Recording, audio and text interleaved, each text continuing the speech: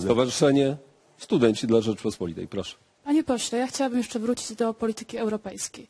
Zasady gry obowiązujące w Unii Europejskiej coraz częściej wiążą się z tym, że jest wykorzystywany lobbying.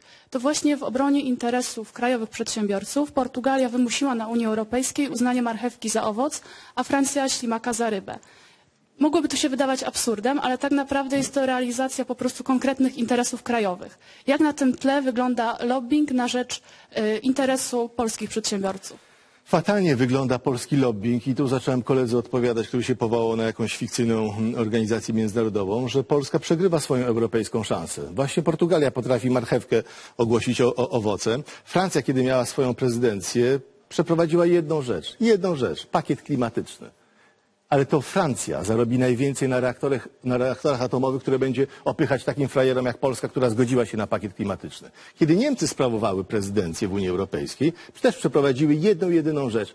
Traktat lizboński, ale to Niemcy jako kraj najbardziej ludny, najbardziej zarobiły i y, na zmianie reguł y, liczenia głosów według kryteriów ludnościowych. Kiedy Polska miała swoją prezydencję, co, co myśmy załatwili w Europie, co jest pozostałością polskiej prezydencji? Tęcza. Tęcza. Pa- panie pośle- Na placu, na placu Zbawiciela jest tęcza, a realne interesy, jak wyrównanie dopłat bezpośrednich dla rolników, jak stawka na gaz łupkowy jako koło zamachowe polskiego budżetu i polskiej solidarności i, niezależności energetycznej, czy na kwestię y, pakietu klimatycznego, żeby go zawiesić i żeby nie płacić tych horrendalnych cen, które będziemy musieli za prąd płacić, to wszystko Polska odpuściła, w związku z czym przegrywamy i dziękuję za to pytanie, które pozwoliło mi rozszerzyć odpowiedź na to poprzednie. Polska przegrywa swoją europejską szansę, dlatego my jako Solidarna Polska stawiamy polski interes narodowy w centrum tych wyborów, które y, będą teraz w maju, po to, żeby postawić, No ciekawe, po to, europosła, że nic e, nie robi w sprawie lobbingu Właśnie. w e, parlamencie.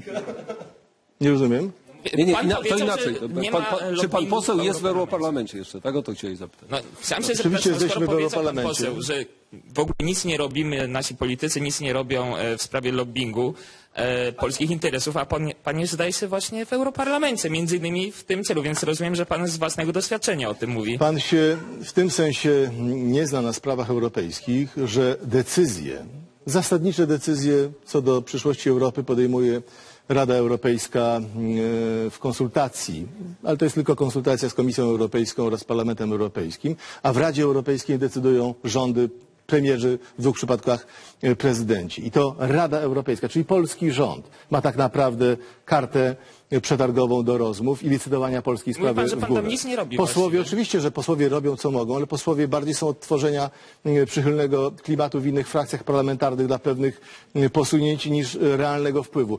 To musi zrobić Donald Tusk. I to, żebyśmy przegrali dopłaty bezpośrednie. Gaz łupkowy prawdopodobnie grozi nam, że przegramy. 400 miliardów przegraliśmy, wszystko. 400 miliardów, panie kolego, należy nam się jak psu zupa, dlatego że w, w Europie jest pół miliarda ludzi i bilion budżetu, czyli na każde dwa miliony ludzi należy się, należy się, przepraszam, na każdy milion ludzi należy się dwa miliardy euro, w związku z czym Polsce należy się w ogóle z samego wolumenu ludności około 76-8 miliardów, a ponieważ wszystkie polskie województwa są w tym sensie zacofane, że mają poniżej 75% PKB na głowę, są uprawnione do ekstra pieniędzy. W związku z czym to, że Polska ma 100 miliardów euro jest naszym obowiązkiem i Tusk po prostu wykonał obowiązek, a mało kto wie, że nasza składka niestety wzrosła z 3,5 miliarda do ponad 5 miliardów euro rocznie i mało kto wie, że aż 20% z tych, które, z tych 72 na Fundusz Spójności muszą pójść na absurdalne inwestycje w pakiet energetyczno-klimatyczny, czyli tak naprawdę